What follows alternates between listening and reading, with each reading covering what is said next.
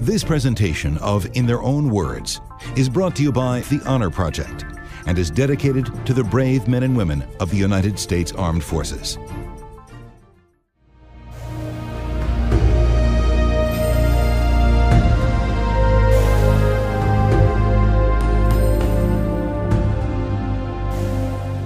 The Studies and Observations Group, commonly referred to as SOG, was an innocuous name given to a very deadly program. Even within the military, SOG was a well kept secret. This covert Joint Service Task Force conducted reconnaissance and acts of guerrilla sabotage behind enemy lines. The six man teams operated primarily in Cambodia and Laos. They were comprised of American soldiers and specially recruited indigenous mountain natives of Southeast Asia. J.D. Bath was a SOG communications specialist. Well, I just finished a one year tour in the, the Special Forces Training Group at Fort Bragg. And upon completion, I went into a company, uh, the E Company 3rd of the 7th, and went over. And I was there probably five months and received orders to go to Vietnam. And we went into fifth group at Fort, up in uh, Da Nang, and from there we were uh, sent to uh, Kham Duc. From there they moved us down to do two, two different regions, and that was into uh, Kontum and to Phu Bai. And I ended up on uh, Team Nevada, working it's a combo, commo man. yeah, uh, the teams at that time were named after states in Kontum, and it was called the FOB. Then it was later changed to CC Central. But uh, I went to work for a master sergeant named Reno. Nevada is his, is his team name. And we went into training, I guess. Uh, I'd been climatizing and training with him, learning the hand and arm signals that we use, the radio procedure, and what have you. And they were targeted for a mission, and because I'm the young man there and I didn't have much time on the ground, they uh, told me to stay back. So I went over and worked the commo bunker. They went in, went on the ground, and found a dry hole. They came out and was to be reinserted on a wiretap, and uh, en route from one position to the other, the uh, boom on the helicopter spun broke broke loose, and the chopper augered in and killed everybody aboard. So Reno was killed. And then I uh, I hung around for a while, and uh, Ted Braden and Jim Hetrick came down looking for a commo man. They were developing a team, one of the first teams of Montagnards in the uh, SOG project. And so I signed on with them to be their commo man, and we went out recruiting uh, yards. SOG teams use specially trained natives known as Montagnards. J.D. Bath recruited the local natives for special missions. Well, the Montagnard, it's a French word. Montagnard, is a French word meaning mountain people. Uh, of course, the good old American dialect, we call it mountain yard, and then we just started calling them yards for short and they are the uh, jungle people. They live and survive in the jungle. They uh, they live primitive, uh, like the early uh, settlers and probably the early the Indians lived out on the plains, the way they live, and they're made up primarily the same way, like we have the Apache, the Arapaho, uh, Cheyenne, Cherokee, and what have you. They have the Bahnar, Sedang, uh, Jarai, Bru, Mongs and they all have their own language, but they can all speak basics Vietnamese, and they just about all speak French. So uh, we worked with them and developed a team, and and it made them competitive against each other. You know, the is not going to hit that target, and Bahnar can't even see that far. You know, this is what they're saying amongst themselves in their dialects and all and we had an interpreter that could uh, speak the languages, and he get, he established rapport with them right off and got got over great with the guys, right? And they learned to trust us, and we learned to trust them. And from that humble start, we started going out on the ground and running, and uh, doing local things to make sure we all understood our immediate action drills and everything. And these guys, uh, you know, they wasn't new to war. It's been a part of their life, all their life, just about. And the uh, I wasn't able to go out on the first mission they went out on, but the second one I went out with them, and you know, the chopper went in, sat down, and these guys bailed out the door. They were giggling, almost ready to get on the ground. Right, and I, my knees were so weak I didn't want to get up. I wanted to go on sick call or something, you know. And as I stepped out the door, the chopper hit this bamboo, and it sounds just like automatic weapons fire. And that didn't help the situation. But I got out on the ground, and we uh, proceeded to move out, and everybody settled down, and we got into uh, our combat mode of moving. Right? I mean, we wasn't sent out there to shoot it up with people. If I remember right, that first one I think was a wiretap that we were going out on, and also a BDA. And of course, the third mission was always to uh, capture a POW if, if one was available, you know, yeah. which was hard to get. Oh, we would pick the village and we would go in, and of course, you know, uh, you have to go in to see the village chief. And Hetrick and I was doing most of the recruiting, so we would go in and we would talk to the village chiefs, you know, and uh, tell them that we, you know, we were putting together this team, and we would like to get three or four of his young fighting soldiers there, or his young people, to work with us.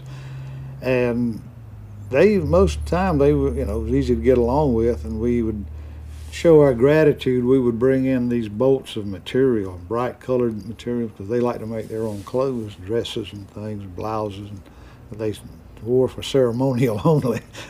and uh, but we did walk into one village in which. Uh, the, they acted hostile, you know, and, and, we were we did this is before we got the new uh, XM15, which became the CAR 15 later on, and you know we to show trust, you leave your weapon outside the door in the chief's house, right?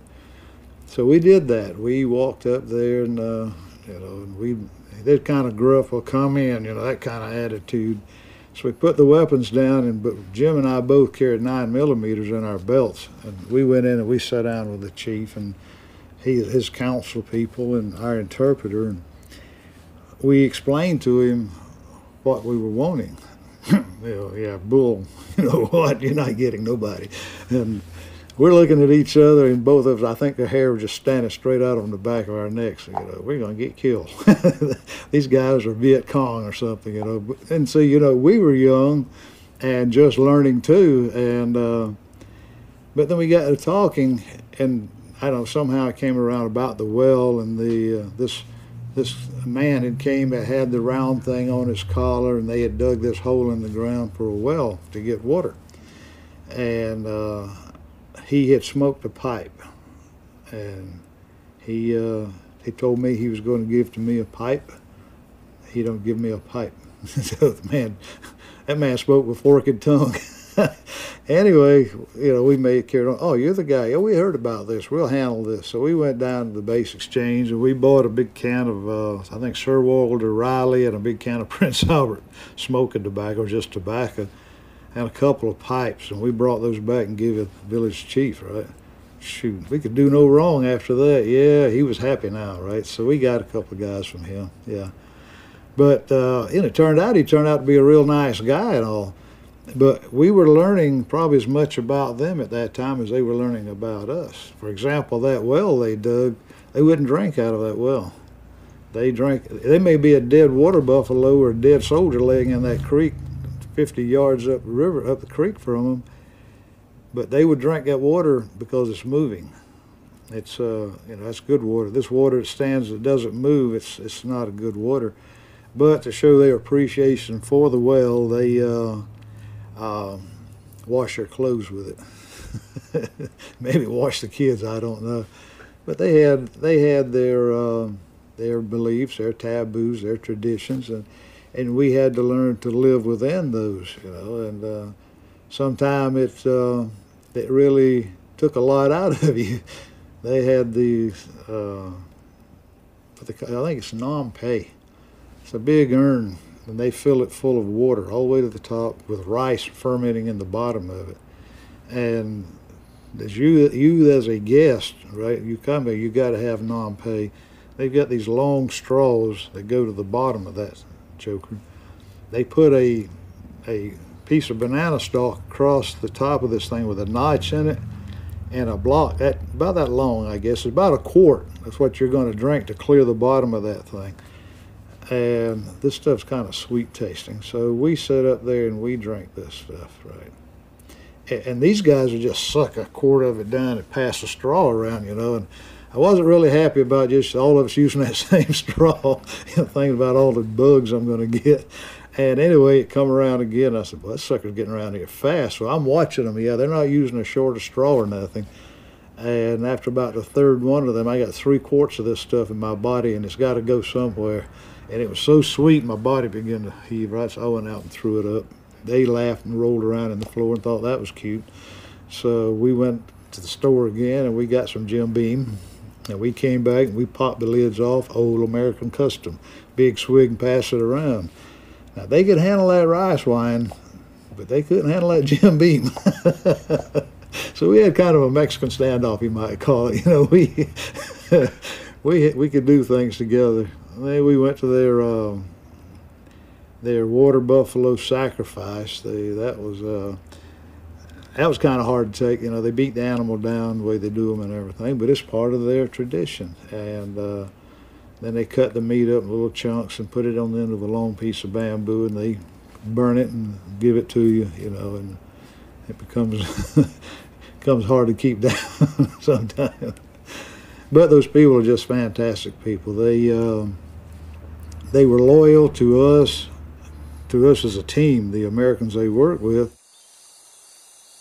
Entrenched with the indigenous people, the Studies and Observations Group could get closer to the enemy.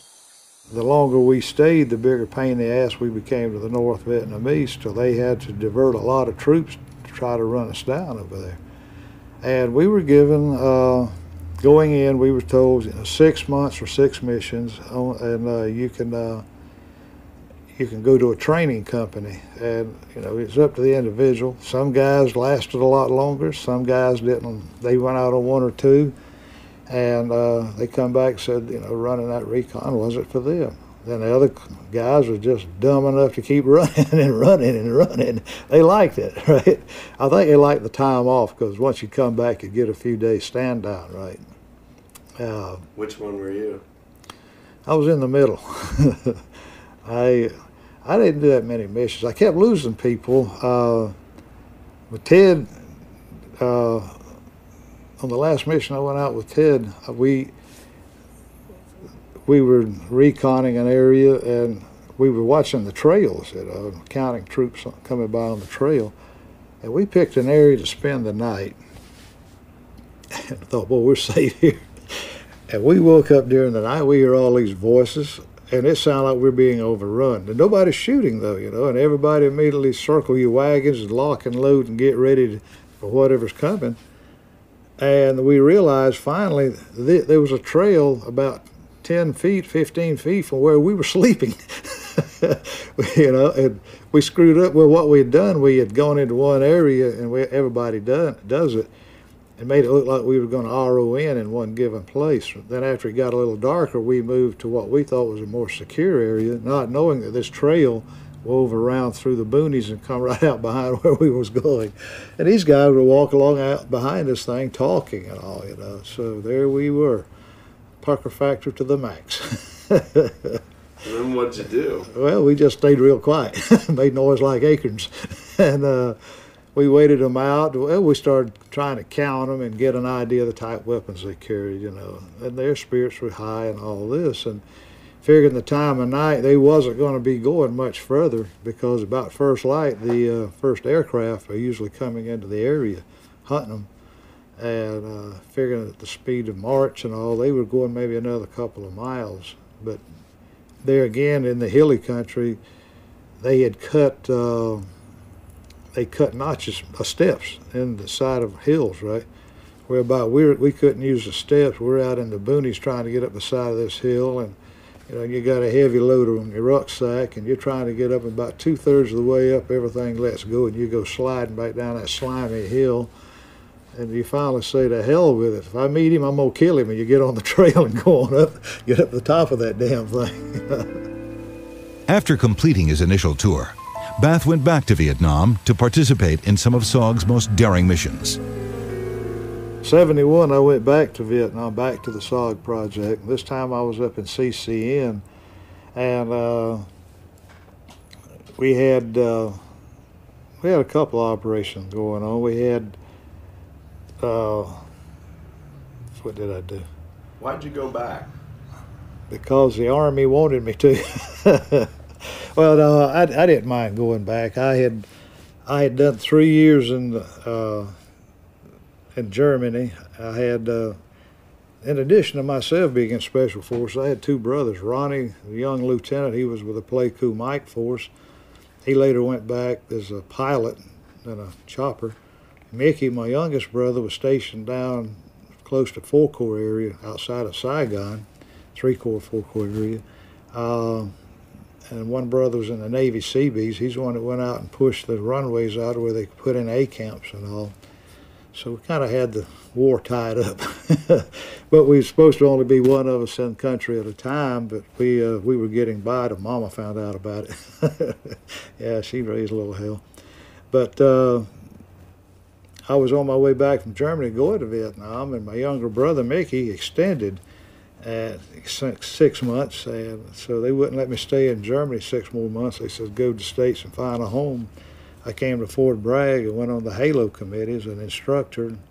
I stayed there just about a year, I guess, and then I got my orders and went on to Vietnam and uh, did a year. But I did. Uh, I didn't run a team this time. They they had some. I'd seen such a change. First time I was in country, you know, everything's being run by the old hands, and this time I come in over there and the young guys, and they're good. They. Uh, they uh, were doing a damn fine job running recon. They were all E4, E5s, and E6s, and uh, they just they didn't need any help, you know, except maybe logistically because they did a darn good job over there. And it was, it was odd and it's kind of funny too. Some of these guys were hippies. Now they got pictures of themselves, right? Long hair, beards, the beads, the whole nine yards, and they got drafted they went in the service and they said, well, hell, if I'm going in the service, I want the best they got, right, in the military, in the army. So they came in special forces, and uh, they soldiered. And they died just like the, the, you know that bullet don't care who you who you might be, and they fought just as hard as anybody else over there. Did a darn good job. The uh, but I went on two major gigs over there. One of them being a POW snatch that turned into a piece of crap. Uh, Which one was that? Well, we were going into, uh, I think, Happy Valley. We were going in and set up on a trail and use uh, depth charges. Just put them on both sides of the trail. When the people walk down through them, you set it off and it knocks them out, you know, and you try to police up a couple of POWs if you don't kill them all. And we were moving through pretty good, and here come a Loach. Loach is a small bubble-nose helicopter and we all waved at the guy, you know, and they're the they're the lead man in a pink team. Pink team is two cobras and a loach. And what he does is he bird dogs, he's hunting, and he would blow the grass down. If he found people, he'd throw smoke and run out of the way, and the, the cobras would come in and gun it. And we just kind of waved at the guys he went across. You know, the next thing we know, here he come back the other way, and he had a 60 mounted and he went popping right down through us with that 60. And the only thing that really saved us he rolled out before he got his smoke off, and the centrifugal force carried the smoke outside of our perimeter, and that's where the guy put his first guns. He was, I mean, hosing it down bad. They had their guard frequency turned down to where they didn't. They were just talking back and forth amongst themselves, and uh, they started punching rockets on us and just doing a damn number on us believe it or not, they didn't kill any of us. They hurt a bunch of us, but uh, the uh, I'm These trying. Were Americans. Yeah, and you know, well, Larry Manus, uh, Larry, we call him the world's tallest midget, right? He's blonde haired. He jumped up, you know, throwed his hat off and pulled his shirt open. They use him as an aiming stake. punched a rocket in. That rocket got most of us.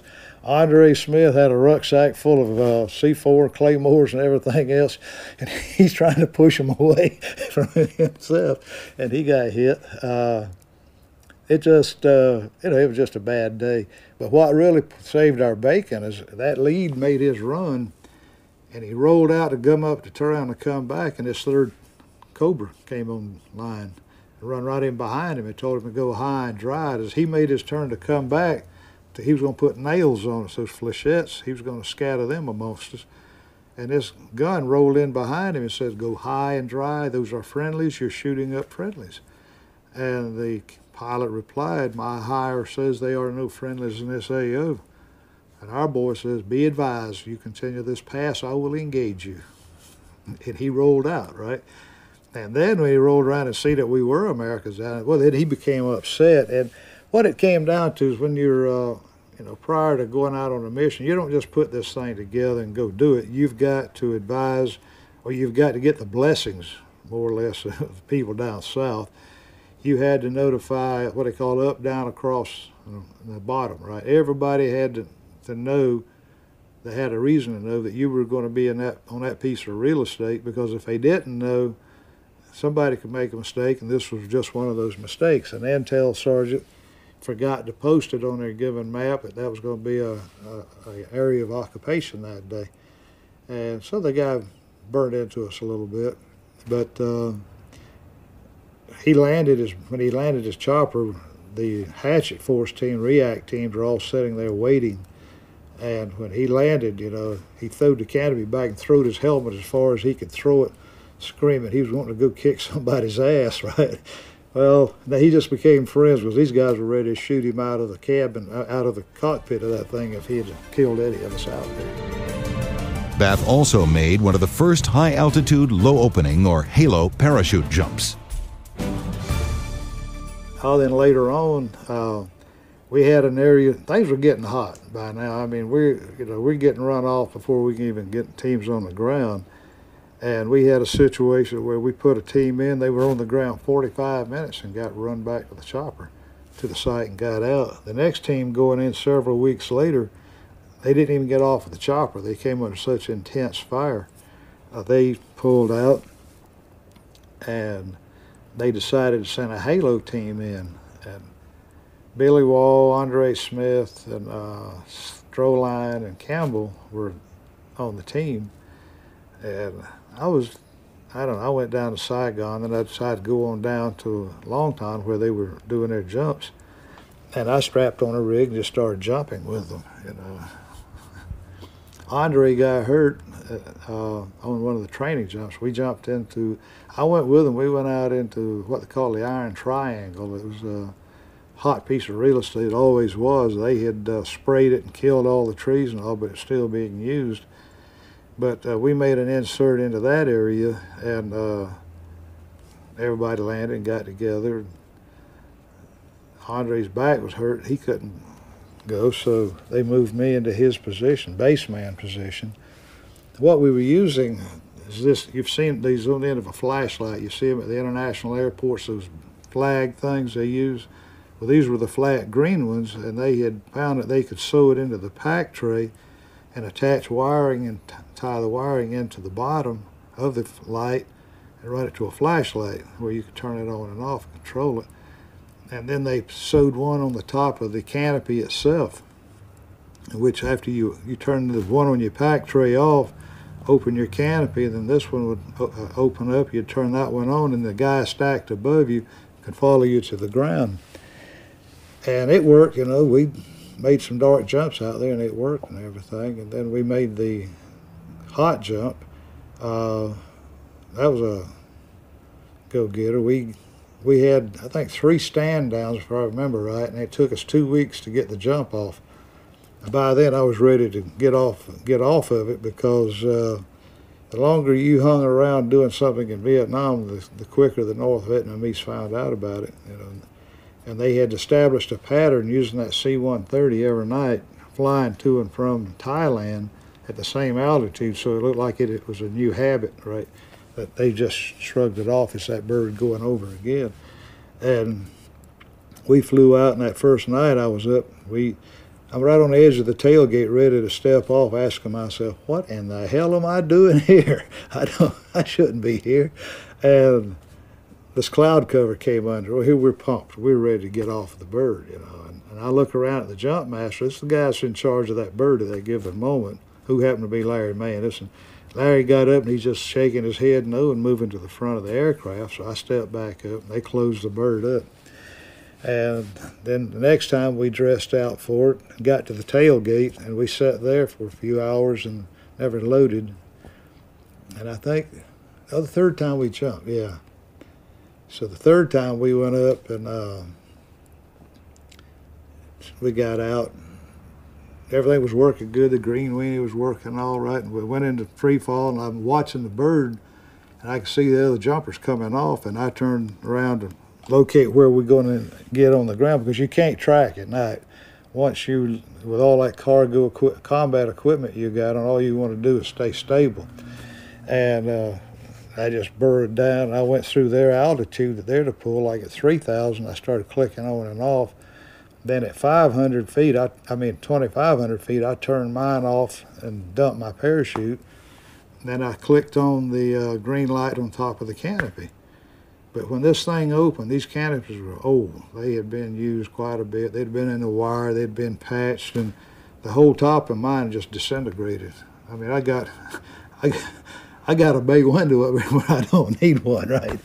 And I'm looking around, and I, I see the guys over here, and I'm thinking, they're not stacking. You know, they're they're moving in the wrong directions, and I'm watching my rig here, and this thing, it, it's just shuddering and fluffing, right? The, the busted material in it, and so I started trying to turn it, and I'm not getting any drive, and I'm now I've got to make decisions back to me, right, and catch up with them later. And I'm watching the altimeter, and I'm not really dropping that fast.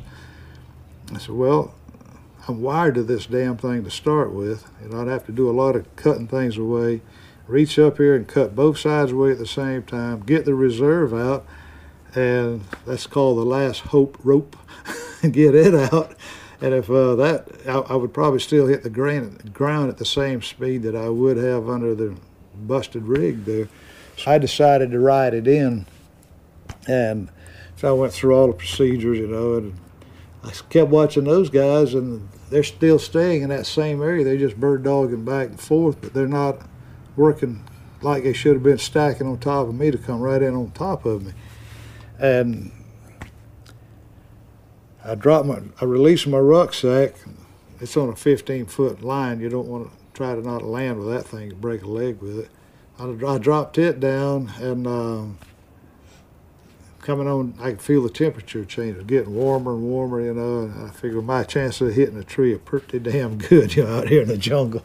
And I'd be damned if I didn't almost miss that tree. But I hit enough into it, the tree limbs, that I went down through them and it slowed me down and I was I did this kind of a number like that, protecting myself, right? And and things are catching, and I'm beating, hammering, banging. I got thrown sideways and slapped in the face and all, and uh, then all of a sudden I'm back in free fall. And before you know, before you could do anything, I hit again, and that time the lights went out a little bit, and I finally got my senses about me. I was laying backwards around, kind of around a tree, with all that equipment on me and I set up, you know, and I'm, I'm trying to put everything back in focus.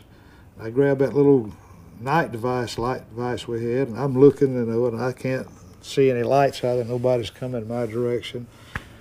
And I could hear a dog barking way off out there someplace, but I started trying to to cut all the stuff off, all these uh, suspension lines and all. And I I've been on wiretaps, right? And I know that those lines are heavily monitored. And I grabbed this line and I cut, and I, what the hell is that? And I felt of it in this wire. You know, and my brain's still addled enough. I said, oh, shit. I've just cut a damn commo cable in two. They know I'm here now. you know, we carried uh, we carried the high standard silence 22 pistol, silencer on it like so.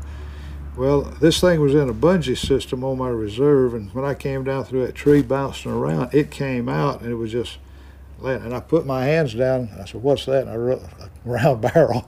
I got my car 15 still tied to me over here, right? I said, "Shit, I'm in trouble." you know, that's a gun. then I realized, oh, that's that pistol, right? But I mean, that's how screwed up it was, you know, at that time. And anyway, I got out of the gear and. Well, you thought it was a gun of an NVA. Yeah, I didn't know. You know, it's a gun. What's it? What's it doing? Pointing at me, right? You know, and your heart just. Uh, I mean, all the guys got to do is squeeze the trigger, and you've been shot. And a, many, a million things goes through your mind at that given moment. Think I land on top of this guy or something. You know, it, really. Anyway, I uh, got out of the gear, and my mouth was all busted up, and and I went to get up, and this leg wouldn't function. So I said, "Oh boy!" And the pants leg was ripped up on it. And my back hurt. I thought, I think I'm gonna quit. but I come up on the radio, and I'm trying to reach the other guys, and and I. Uh, we were using the first letter of our last names like, like we were aircraft or something. I'm Bravo Flight, uh, Strohlein Sierra Flight, Campbell Charlie Flight, Wallace Whiskey Flight, right? And so I came up on the radio and I couldn't get anybody. Then all of a sudden I could hear Strohlein. He's calling me and and I told him I said, well I've you know I've busted up a landing gear. I hit pretty hard. I've got a busted landing gear, meaning busted leg. And he said, yeah, I'm hanging around right now. Um, I've got a right wing that uh, it's non-functional. He broke his right arm, and he's hanging in that damn tree. And I had no idea which direction he could be for me at that time.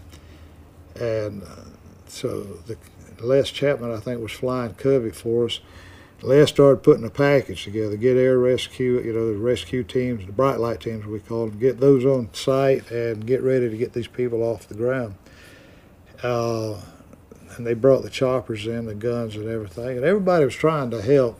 They come over me a couple of times, and I tell them, you know, they were looking for Strohlein, and I because these guys hurt, and I told them, I said, you know, I'm Bravo, and they move on, and then people started coming down into the area. People started moving down. North Vietnamese was moving in on us. And I figured, well, damn, you know, this is going to be a bad day at Black Rock. So I'm putting up claymores and stuff like this, and so the birds had been there long enough. I could hear Strohlein talking to him. He would uh, he'd say, "Break right, break right." He he would catch one through the trees and, and try to get him to break right, and bring him right over him. Well, the guy might break right, but then he had no other direction. He might he might come by over here, and Strohlein couldn't see him. But what what had happened? We have a we had a tubular nylon rope that was packed into our between our pack tray on our parachute and our backs and you'd pull out the end of it and you'd snap it in uh, the snap link on it, snap it into your risers, right, on your parachute. And then you'd go down under your foot, you'd bring this out, and it takes both hands. One hand you'd clench it off, the other hand you'd reach up here and release yourself from your parachute. Now what you got left is your reserve and just your harness and your parachute, which is hung in the tree, is now your anchor. And you start letting yourself down and work yourself down out of the tree, but with a busted arm, he couldn't get out of that tree. So, you know, anyway, the birds uh, were hunting him and running back and forth, and they began to get low on fuel.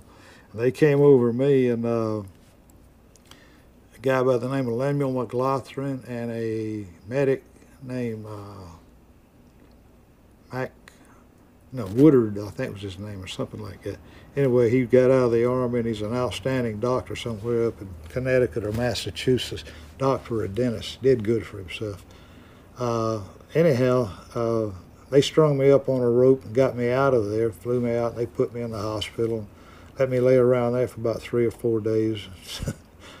and they brought me out of there, and I uh, spent the rest of my tour there, and I come on back to the U.S. of A. But fellow jumper Madison Strohlein did not survive the mission. They found his weapon and his map and his night scope laying on the ground at the base of that tree. The tree had been shot all to hell. They had taken the canopy out of the tree and everything. His weapon had one round, one round had ricocheted off the side of it. Uh, that might be that he had it hanging in the tree and they shot it because what he'd done, he throwed smoke. I forgot to tell that. He uh, he thought that maybe throwing out smoke, the smoke would uh, show him where he was, but unfortunately, you get smoke in those trees and it would just get up and just hang there, right? And they become a calling card for everybody, but the people you need. The team, everybody had to come in. It was getting dark, and they told him they was going to have to leave him. You know, it was all day run out there. They couldn't get to him. Uh, they come back the following morning. They captured him alive. They executed him later on because we were wearing a that Air Force survival vest, and it's got all these pockets on it. Well, anytime you go out, you know, your map goes here, your compass goes here, your morphine pills or whatever goes here, your salt pills, blah, blah, blah, right? But every man was dressed exactly alike. Now, you have that map up here where it's easy to pull it out to look at it. Now, if they'd have shot him eh, while he was in the tree, then there would have been holes in either the, the night device or the map itself. But they were laying there, and there was no blood around the base of the uh, tree. In fact, I heard just just about three or four years ago that the recovery team had been in there and they had interviewed an old Vietnamese that lived there that remembered the incident and said, yeah, they, he remembered when they, they captured the American. They said, well, what'd they do with him? He said, they executed him. Because under a parachute, they immediately think you're a pilot. And a pilot doesn't have a long life if captured by those people, not by village people anyway. You know, jeez. Well, it was quite a time in SOG. Yeah, you know, I, I just I played a small part in it. But What the some people say oh, we, we're heroes. We're not heroes. To me, the hero was that guy that that knew he was surrounded, and he stacked his magazines and his hand grenades, and he took them with him as long as he was alive, right? Because we learned, you know, no, no, nobody came back, you know, out of off of the ground. They captured them, and if they captured them, they executed them. Nobody made it. As a SOG team leader in 1969 and 1970, Bill Deacy experienced enough horror to last him a lifetime. Whenever he crossed enemy lines, he was determined to be silent and sure footed. It's body language, it's uh, hand signals, occasionally might be a, a light whisper. Uh, a lot of it is just a sense, watching somebody, somebody's movements, somebody abruptly stopping, uh, watching the uh, elongated stare at a particular location. Um, there are many ways, very subtle ways there. It's not verbal. You never talk at all, really, when you're out in the bush. It's uh, as as other facets you don't do. There are do's and do nots, and one of the big do nots is uh, verbally communicating when you're out in the field. Why? So, what are some of the other do nots, and why? Why? What's the origin of those do nots? Oh, moving quickly, uh, being complacent. Uh, one of the worst things you could do is think that the enemy's not around, that you're running into what they would call a dry hole. And there have been teams that have taken uh, devastating uh, beatings from thinking that they were in uh, safe havens. You know, they might spend a day or two in there and they haven't seen anything, haven't crossed any trails that look like they were actively used, uh, have not seen any uh, bunker complexes. this would make you complacent, or could make you complacent if you didn't have some experience behind you or some savvy about you. Uh, you always assume that the bad guy was there. You moved very deliberately, uh, very slowly. Uh, you would move maybe for five minutes, you would stop. And when I say move, I'm talking about very deliberately lifting your feet and putting it down uh, in a precise manner. You may want to walk in where the other man's footprint might be on the ground as well. Um, when you come across a trail, you may back off on that trail. You would not negotiate that trail. Certainly, you would never traverse on that trail. But before crossing it, you might want to back off, observe the trail for a while, listen for sounds. That was another key thing I always thought, was you always listened and you wanted to hear the natural sounds of birds, of maybe the monkeys in the trees, of insects. Uh, normally, if you didn't hear that, there was something that might be uh, going on. There may be an ambush being set up. Uh, people might be in a place which uh, frightens the animals themselves there. They may be super quiet. So if you heard super quiet, normally uh, something was amiss uh, in that situation there. Another thing you'd have to be careful of, you wouldn't go to sleep at night.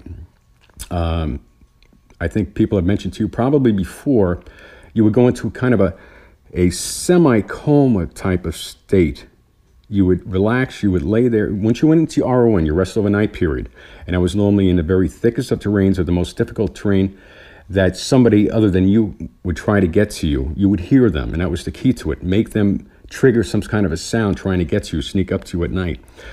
But you would never take off your rucksack, you would loosen it, and you would lie against it. Now, the straps might be down by the uh, elbow areas. Uh, your weapon, you never put away. You never put it on the ground. You always had it across your lap. Um, and you would listen. Before you went to sleep, your backs would be in a semicircle. You would put out your claymores and your defensive perimeters. Um, and uh, you would just sit there maybe for an hour, two hours. And that's if you could go to sleep. You may fall asleep for a little bit, but no, the entire team was never sleeping or relaxing. I, I won't even use the word sleeping because you didn't sleep. Um, you were relaxing, but you never relaxed at the same time. And then the slightest sound, and a lot of times you can hear the monkeys in the trees or uh, some of the birds maybe making some noises or some of the insects at night. You would listen for that, and you wanted to hear that. And if you didn't hear that, uh, you would get ready maybe that you were going to be coming under attack very shortly.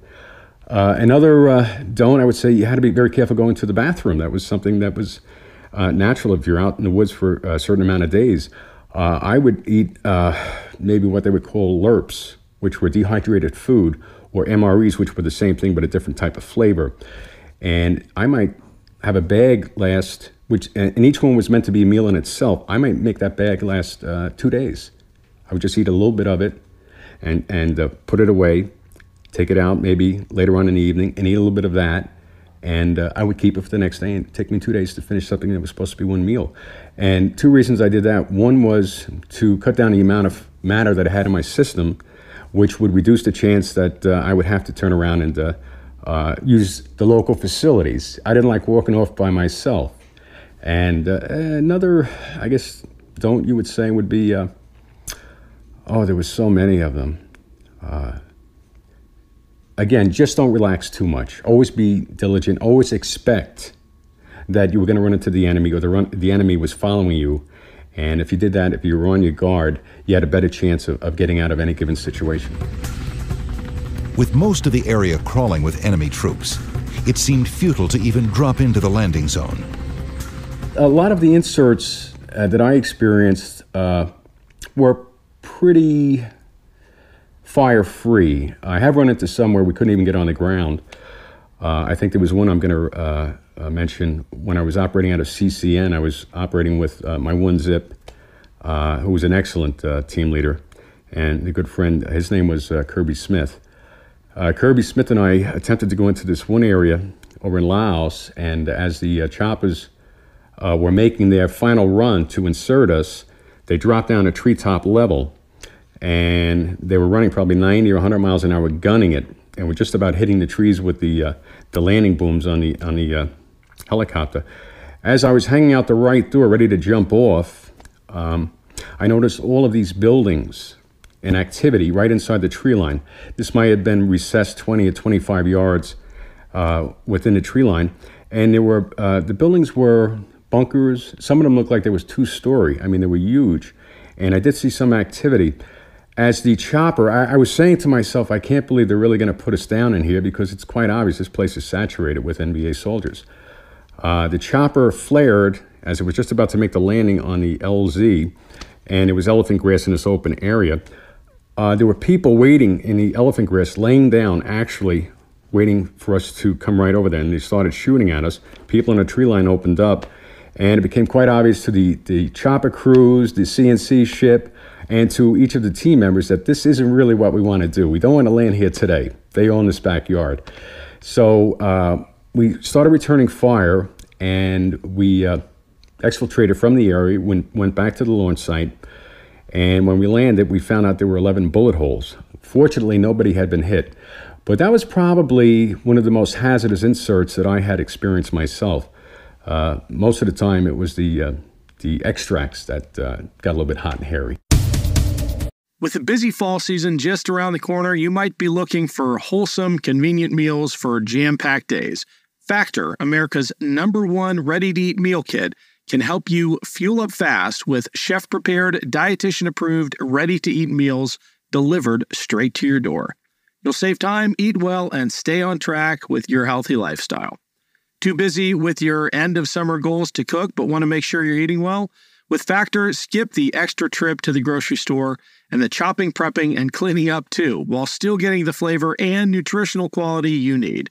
Factor's fresh, never frozen meals are ready in just two minutes, so all you have to do is heat and enjoy, then get back to crushing your goals. Level up with Gourmet Plus options prepared to perfection by chefs and ready to eat in record time. Treat yourself to upscale meals with premium ingredients like broccolini, leeks, truffle butter, and asparagus.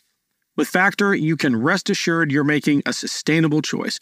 We offset 100% of our delivery emissions, source 100% renewable electricity for our production sites and offices, and feature sustainably sourced seafood in our meals. This August, get Factor and enjoy eating well without the hassle.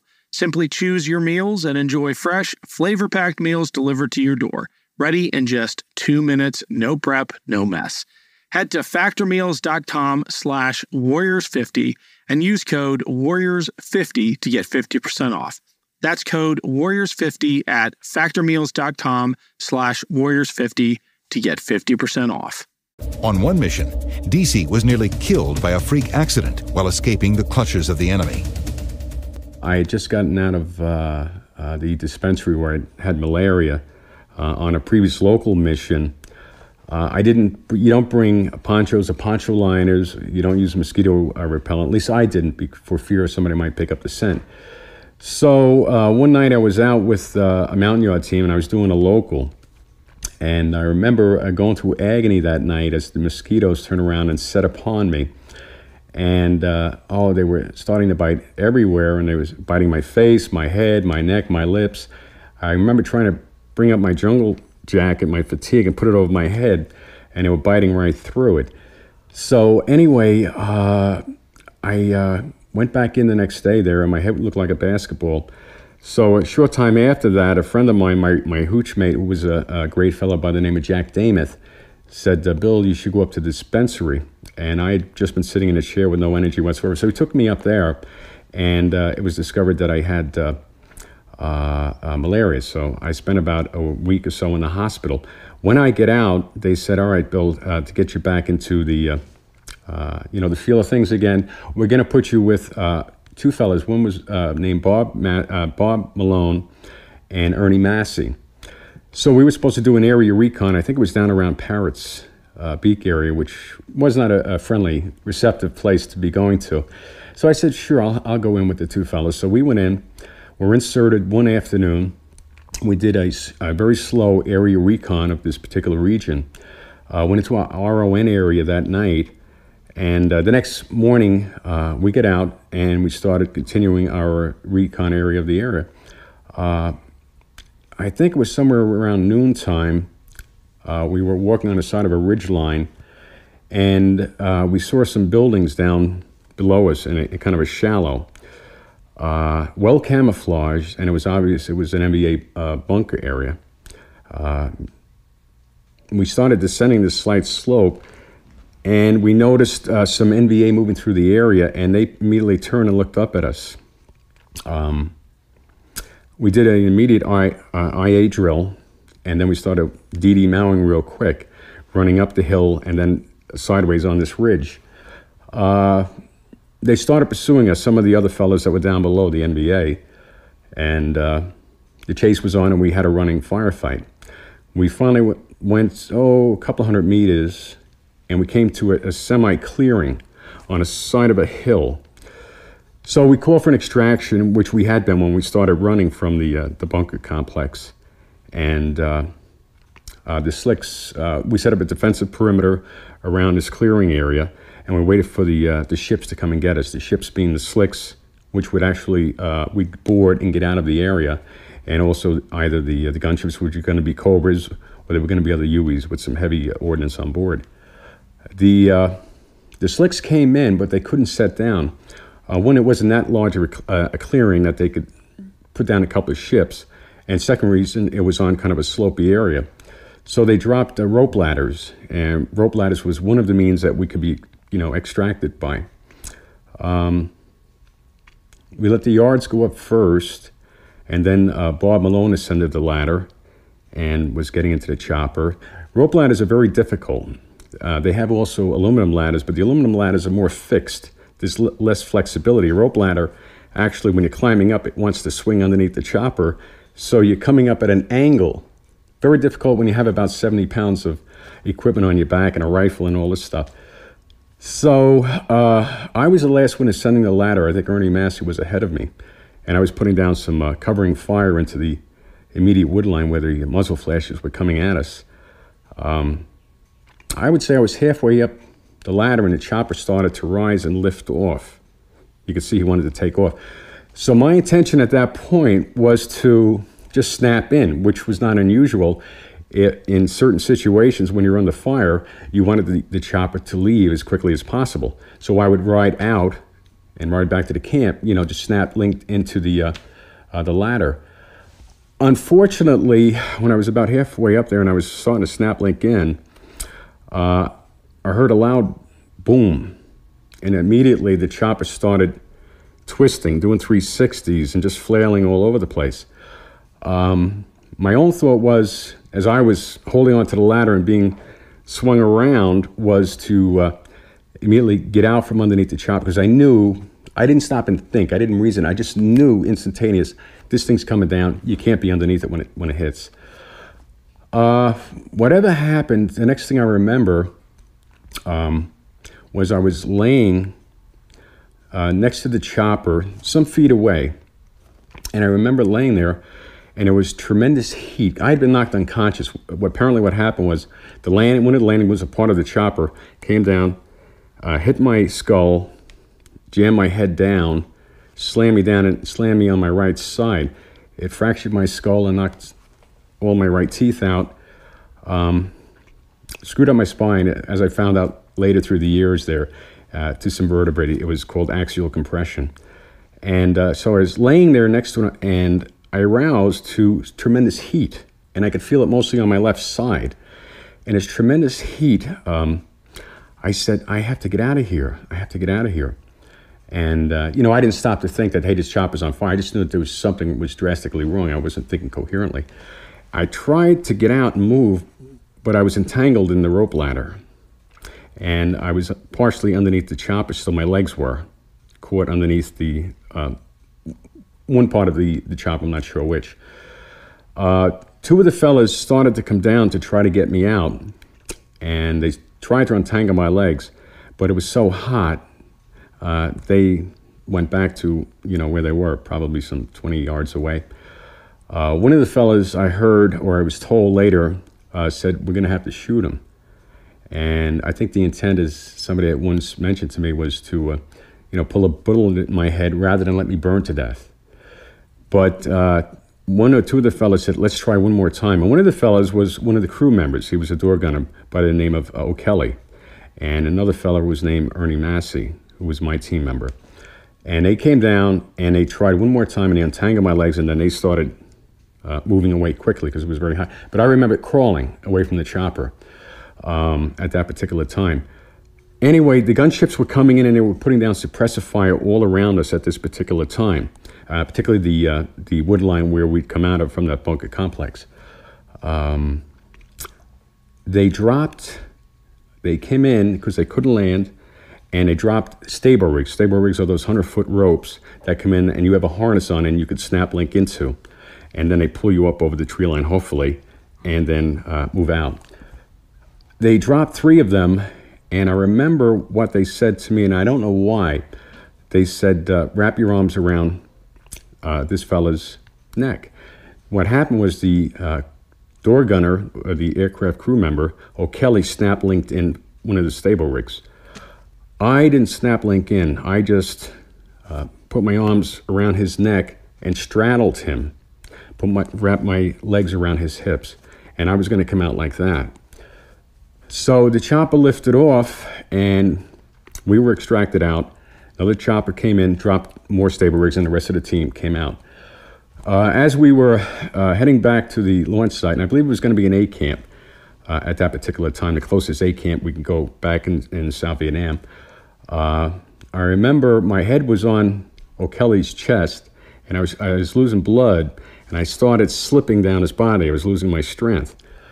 And uh, I remember looking down at the jungle, and it was a terrible feeling. It, I could see it, and I said, I think I'm going to fall from a thousand feet or 3,000 feet, whatever we were at.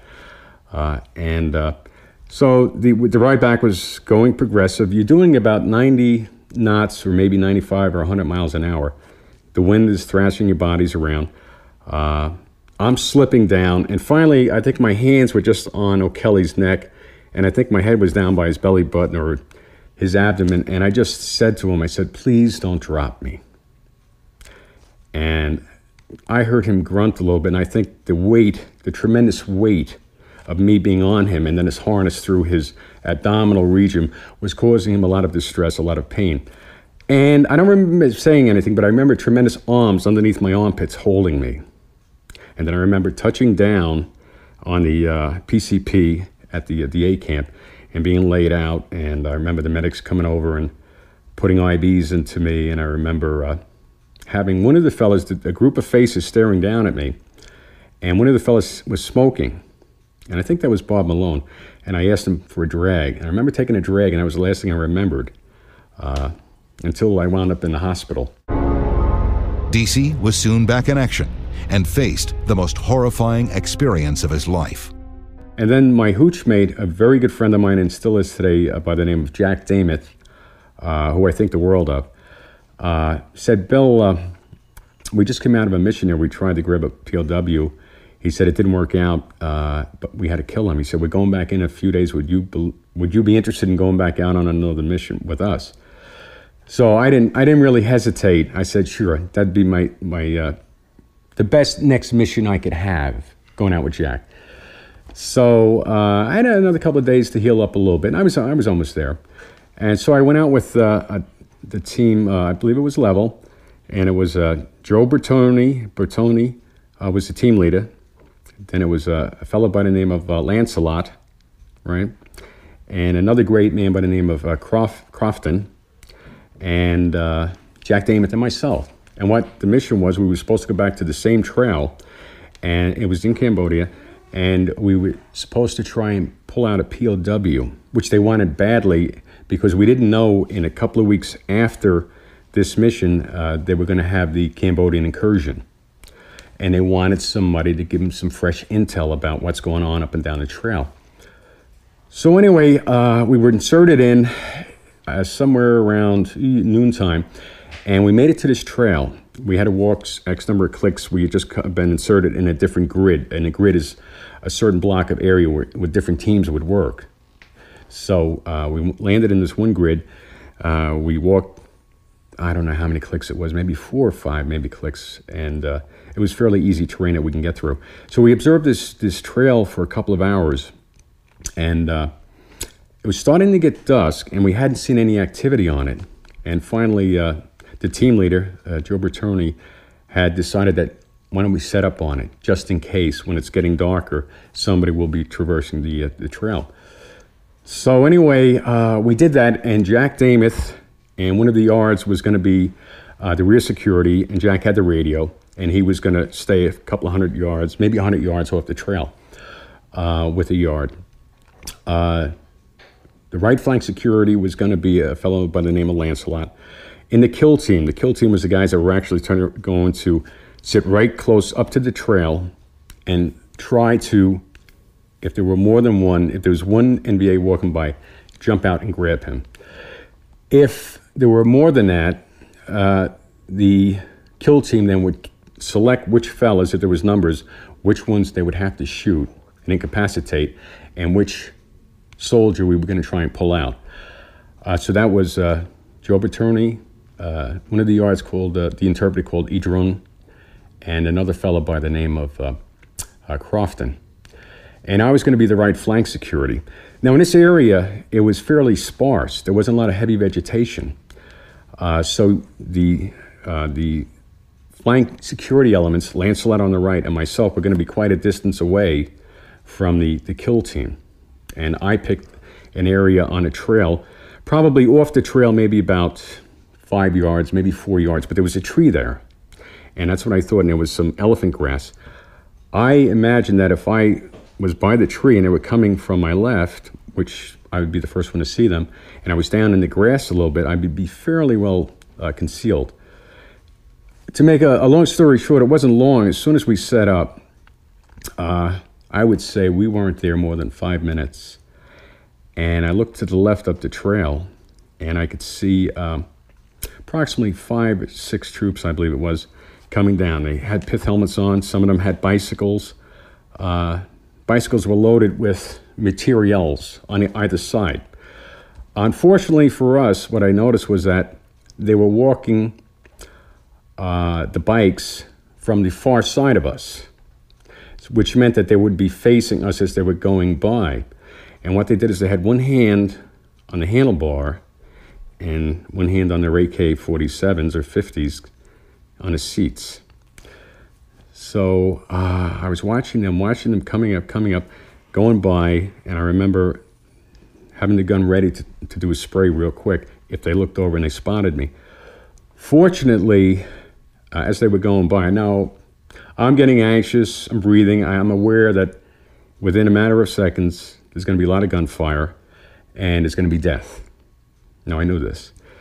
So as they're going by, I'm watching, I'm watching, and they're passing me, and they're just starting to come up into the kill zone upon a kill team.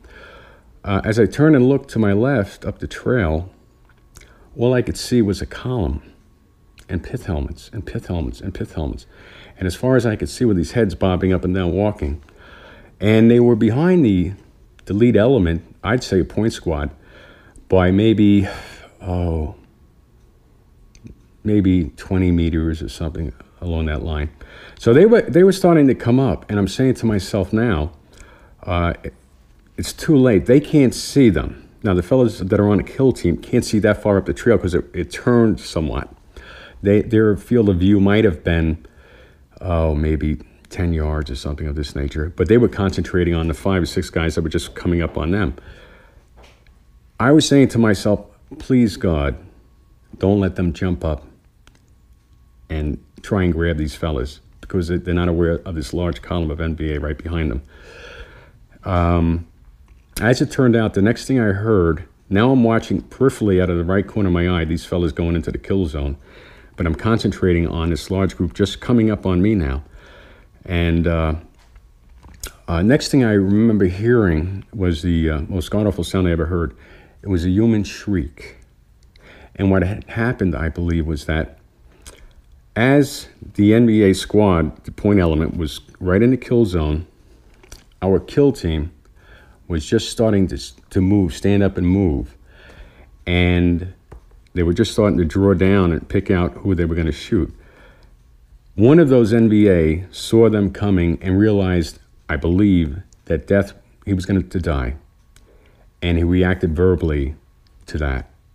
And again, it was a shriek I'll never forget. Never heard anything like it before, never heard anything like it since. But as soon as that happened, I knew it was over. Kill team opened up.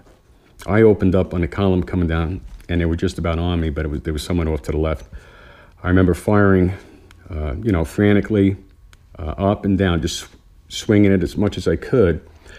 Uh, emptied the magazine, threw another one in real quick, the same thing. And then uh, one of the, one of the I saw some kind of action coming out of the uh, the kill zone, and uh, what happened was I swung my my gun back again, the CAR 15 back, point going to point it down this way because it was fairly close over here. As I did, I fired because there was an NVA fellow coming out. The last one had got escaped the uh, the kill team, and uh, uh, he fired. He was firing at me, and I fired at him. And next thing I knew. Um, my gun wouldn't work. So I'm saying to myself, what's the matter? Why is this thing broken?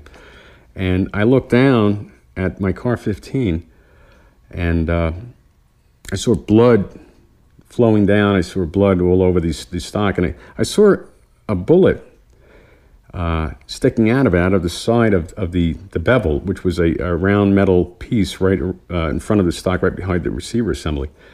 I said, what is that? And I said, my rifle, my first thought was my rifle malfunctioned and something blew out there. Uh, and uh, then it dawned on me that the bullet that the fellow had fired, and I had fired at him and shot him and killed him. I saw one of the bullets turn around and shatter his face. Um, I stood there and I was kind of in semi shock, saying, Now I'm defenseless. I grabbed the grenade real quick and I threw it up the trail. At that time, I turned to my right again, and I saw the, the kill team uh, retreating back towards the rallying point, back to where Jack, Jack uh, was waiting with the other yard. And we had uh, cached our, our rucksacks up there at that time. Um, as we ran back, uh, I knew I was going to be almost uh, not useless, but I didn't have a, a, functional weapon. So I just grabbed the grenade and I had it at the ready and I went out on the perimeter. As I ran back, Jack Damus saw me holding my head sideways and, and the blood coming out. And uh, uh, he said, Billy, come here, uh, bandage, let me bandage it. And I said, no, it's okay. So anyway, I took a, a position on, on a perimeter defense. Uh, at that time, uh, the discussion was realized that uh, um, one of the members was missing, and uh, he can only be up by the trail. And the missing member was Idrun, the interpreter.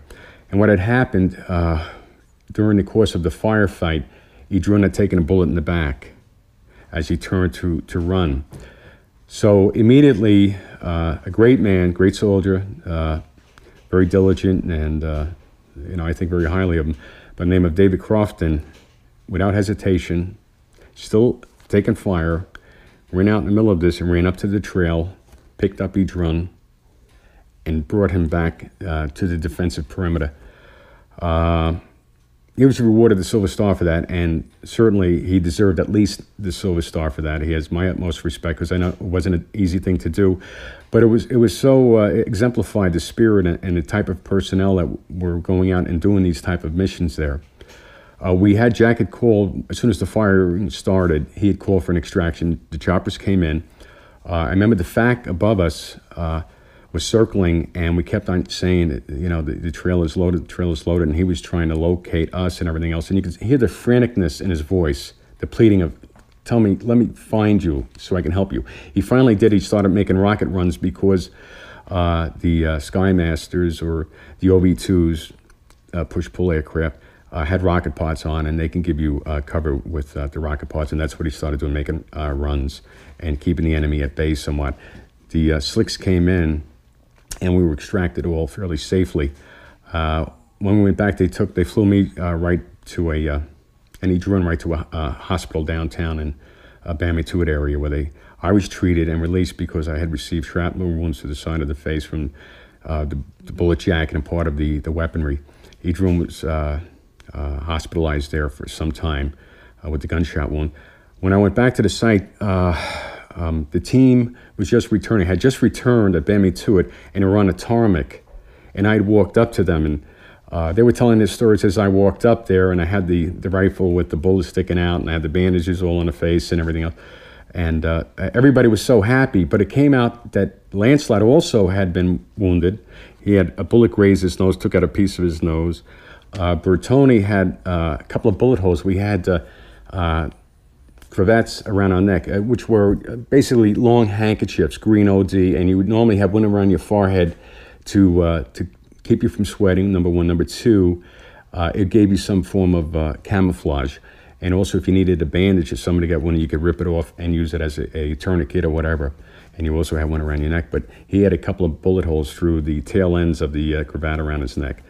Uh, so, but it was uh, not a successful POW snatch, but we felt it was successful just to get out of there underneath uh, uh the conditions that existed. There were uh, probably, I, I don't know the exact number, but there had to be 100, at least 100 NVA coming down that trail.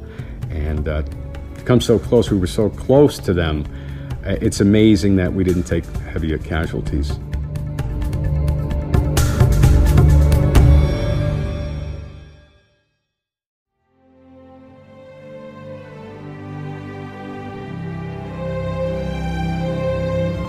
We hope you've enjoyed this presentation of In Their Own Words. This program was created and produced by First Person Productions in association with the Documentary Broadcasting Company.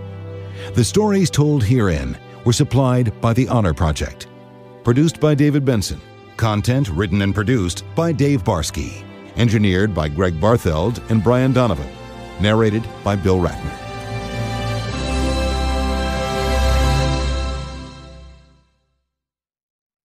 This production is copywritten by First Person Productions Incorporated. Any unauthorized broadcast, public performance, or copying is a violation of applicable laws.